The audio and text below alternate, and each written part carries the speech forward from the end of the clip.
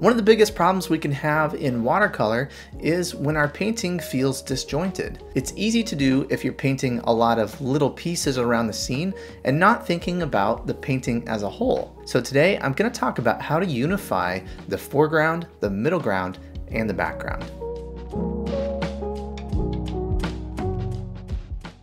I had a viewer make a comment recently saying, when are we going to see you play those drums?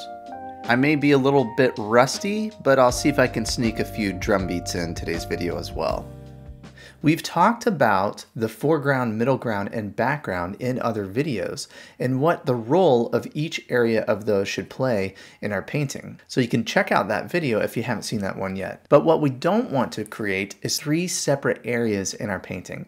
We want to find interesting and unique ways to make these sections of the painting interact with each other and interlock with each other. So let's talk about ways to unify our scene and find connections between the foreground, the middle ground, and the background.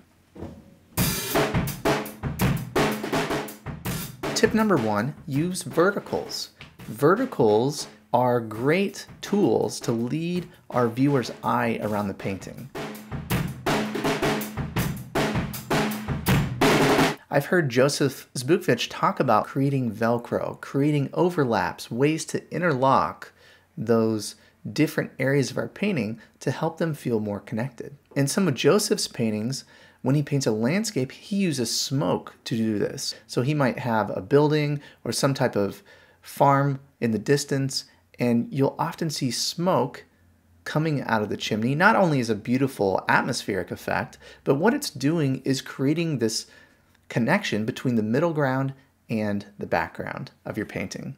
The next time you create your composition, think about verticals in your scene. This could be power poles, signs, buildings, trees, any object that's vertical that can be a link between the foreground, middle ground area and the background of your painting. So find ways to build these verticals into your scene and create more connectivity in your painting.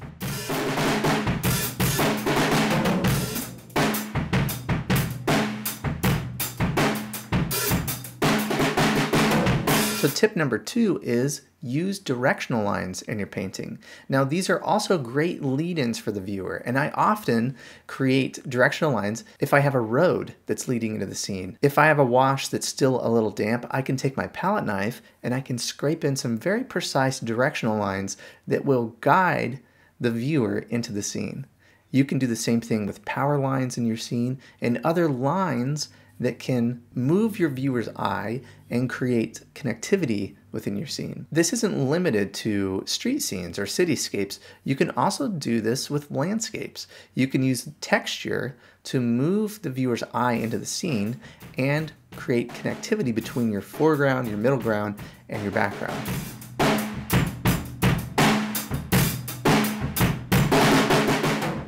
So number three is the most important tip in creating connectivity and coherence in your scene, and that is finding connections within each wash of your painting.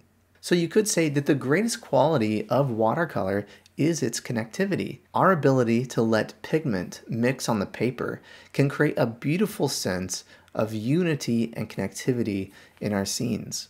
So we want to think about this in the very first wash of our painting. So this is the only time in the painting where you have really loose washes flowing together and mingling on the paper. So we need to take advantage of painting wet into wet, allowing the colors of each object around the scene mixed together on the paper. That's how we can find connectivity in the first wash, is being more open to letting those colors merge and blend together on the paper. Now this is also very important when it comes to our second wash, creating a large middle value shape. This is not easy. This is the most difficult part of the painting because we're trying to find connections in our shapes. And we're also thinking about values and about edges and color mixing all at the same time. But this middle value wash is where we can create the most connections in our painting. When I say find connections, what I mean is paint a shape. If you're painting a building with some cars, find connections within those shapes. So if you're painting a building and you come to the edge of that building and then there's a, a car, you want to touch your brush to the wet edge and move right into the shape of that car. Maybe there's another car in the background. Move right into that car in the background. And you want to do this as you move around the scene.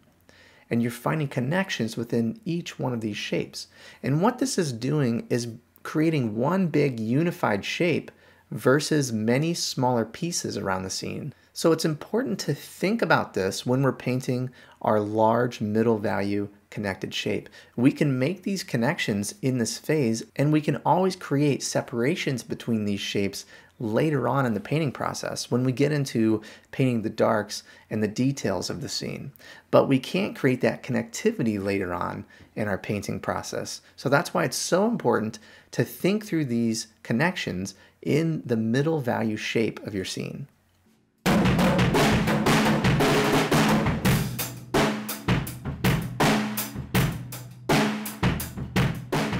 All right, let's recap these three tips for creating connections and creating a unified painting.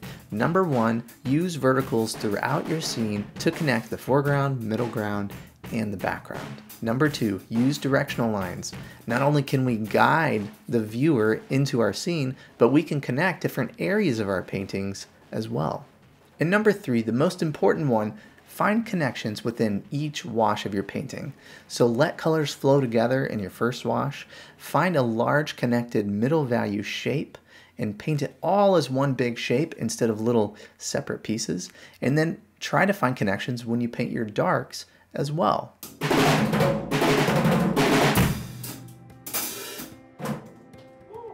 If we can use these three tips, we can create more cohesive, more unified paintings that feel more natural and are more compelling.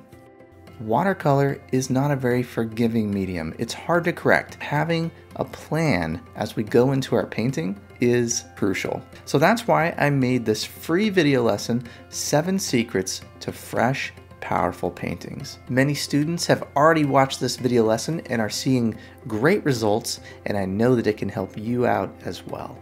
So take a look at this free lesson. All you have to do is follow the link down below in the description and learn how to paint more fresh and powerful watercolor paintings.